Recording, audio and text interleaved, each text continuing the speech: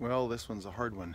I nine o'clock right now. I don't really want to ride today. It's a beautiful day outside and a good day for a ride, but uh, um, I'm just in kind of a funk right at this moment, and I am so I I so much don't want to ride that I am certain that I need to. So let's do this. Home, 13 point something miles. Uh, didn't ride long enough to get over this. Not sure I could have. Anyway, so but 13.61 miles, about 12 miles an hour, something like that.